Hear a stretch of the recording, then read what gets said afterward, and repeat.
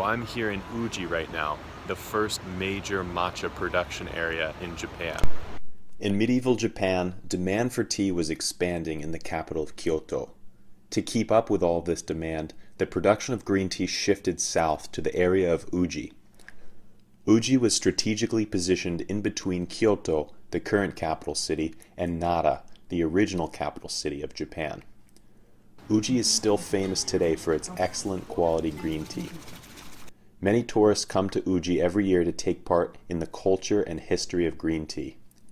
In medieval Japan, the primary way to drink green tea was in powdered form, also known as matcha or powdered tea. To produce ceremonial grade matcha, first the tea leaves need to be cut off from sunlight. This is done with a special type of netting called kabuse. When a plant is cut off from sunlight, it produces more chlorophyll to compensate for the lack of sun energy. What makes the tea plant unique is that it also produces more caffeine and theanine. Caffeine has a stimulating effect on the body, while L-theanine has a more calming effect. By combining the two, you get the most desirable elements of both, giving you a calm, alert sensation throughout the day. Contrary to coffee, matcha does not give you a crash or jitters later on in the day. Shading the tea plant doesn't only produce more theanine and caffeine, it also changes the color of the tea plant. The excess chlorophyll production turns the plant from a lighter green color to a deep jade green color. Because theanine is responsible for the sweet and umami flavors of the green tea, shaded teas tend to have more sweetness. By shading a tea, you reduce the bitter catechins and increase the sweet and savory theanine. This is, of course, what tea drinkers want in a matcha a sweet and smooth flavor with no bitterness.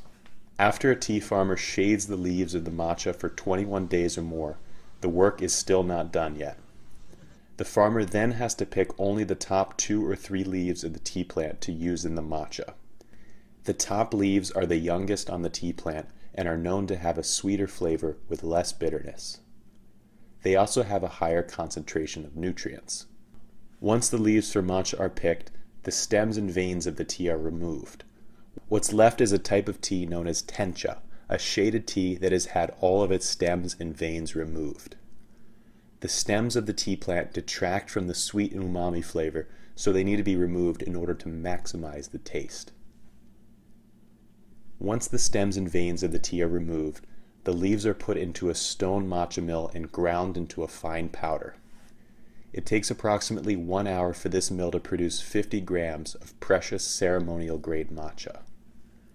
The result is a powerful, vibrant green tea that is sweet, savory, and loaded with caffeine and theanine, giving you a calm alertness throughout the day. Of course, matcha is famous for its use in the Japanese tea ceremony, an important part of medieval Japanese culture.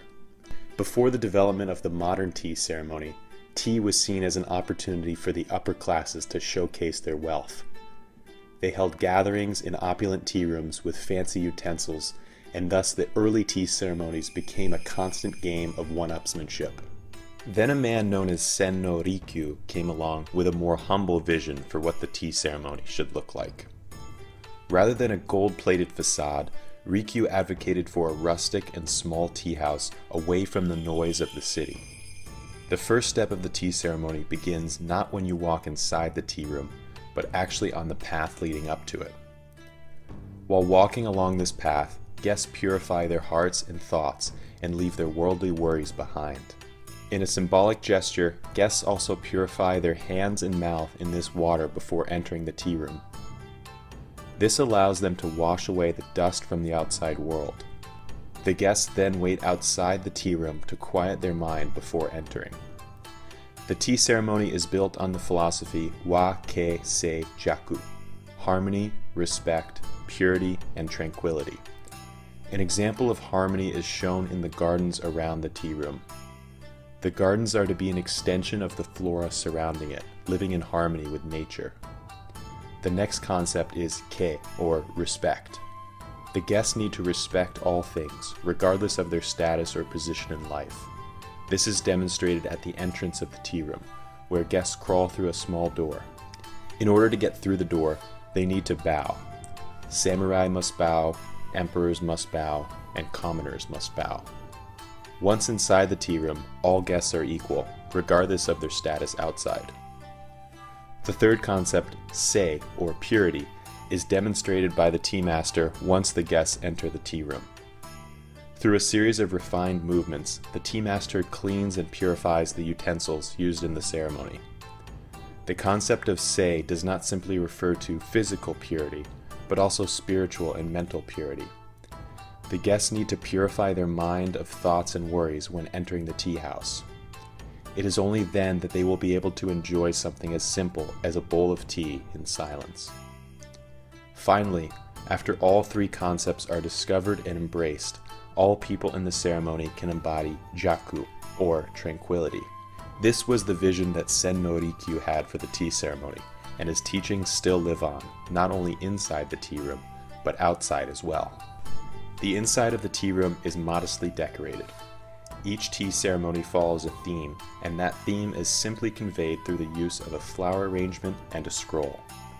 The theme of today's tea ceremony is wood, and the flower arrangement conveys the leaves beginning to fall from the trees. The scroll on the wall expresses the intention of cleansing our hearts before the upcoming winter season. The theme of wood is also conveyed in the objects used in the tea ceremony. Here is an incense holder made from bamboo gathered around uji. There is also another small object that is used to produce a specific scent in the tea room. The rest of the objects are used for the preparation of the matcha. First, we have the hishaku, a bamboo ladle used to scoop hot water out of the kama, or iron pot. A small square is carved out in the tatami mats to make room for this iron pot and keep the water hot throughout the day. Next, we have the tea bowl, or chawan. This is a clay bowl made by hand, inspired by Furuta Oribe, a disciple of Sen no Rikyu. The bowl has a certain weight to it that conveys the importance of what's inside. Next, we have the fukusa, a cloth that is used to clean off the tea utensils before using them. This is a sign of respect for the guests, and it is done in a series of graceful movements. The natsume, or tea caddy, is the vessel that the matcha powder is kept in. Matcha tea has to be protected from light and humidity to maintain its quality. The chashaku is the bamboo spoon used to scoop the matcha powder into the bowl, and the chasen is the bamboo whisk that's used to mix the powder into water and form a nice foam. To prepare the matcha for the tea ceremony, the host first must prepare the tea whisk and the tea bowl. She pours hot water from the iron pot into the tea bowl to warm it up. Then she will take the tea whisk and gently soak each side of it. This does two things. First, it heats up the tea bowl so that it does not cool the matcha down too quickly, and it also makes the bamboo whisk more pliable. The chasen tea whisk is made out of a single piece of bamboo with very fine bristles that can break if it is too brittle. That is why she gently moves the whisk through the water first, before preparing the tea. The host then discards the water into a kensui, or wastewater bowl. The bowl is then cleaned with a different type of cloth, called the chakin. Once the bowl has been thoroughly cleaned, it is time to add the matcha. The host adds two large scoops of matcha into the bowl. In this case, the host is preparing usucha, a normal matcha, but she may also use more matcha and less water to create a powerful koicha, or thick matcha. Next, water is added to the bowl using the hishaku or bamboo ladle. Finally, the host begins the whisking of the matcha. The bamboo whisk is specifically designed to mix the matcha into the water in a perfect way.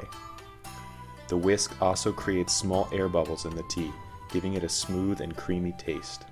The host starts by scraping off the sides of the tea bowl and then moves into a diagonal movement to create a foamy texture. Once the matcha has been prepared, the host presents the bowl to the guest, with the most decorative side facing them. This is a sign of humility and respect, allowing others to enjoy the most beautiful part of the bowl. When the guest is finished with the matcha, they place the bowl on the other section of the tatami mat. Sweets are also an important part of the tea ceremony. These are served alongside the matcha to enhance the sweet flavor of the tea. This Japanese sweet, or wagashi, is made with chestnuts to complete the wood theme of the tea ceremony. But how are these delicious wagashi made? To find out, I would have to head out to Nara, Japan's original capital.